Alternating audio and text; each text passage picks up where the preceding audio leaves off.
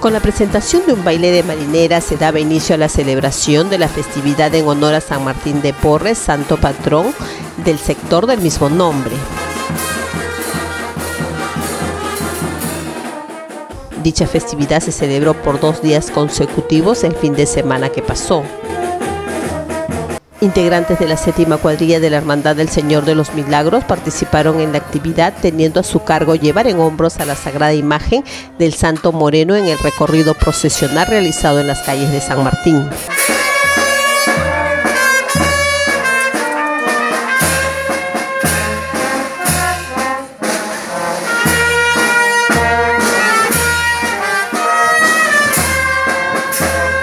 El presidente de la zona, Luis Alberto Castillo, destacó que dicha celebración la realizan por 12 años consecutivos con participación de todos los vecinos. Estamos celebrando pues desde ayer ya el aniversario, el 12 aniversario de nuestro San Martín de Porre.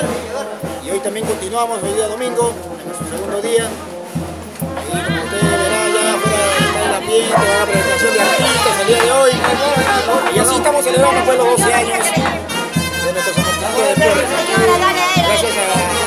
familia Cerzosa que año tras año realiza pues, la y gracias también a los apoyos de todos los devotos ¿no? que colaboran con la profesión, están presentes, participan con su presencia. Se trata de una tradicional festividad donde los vecinos de San Martín le rinden homenaje a su santo patrón San Martín de Porres.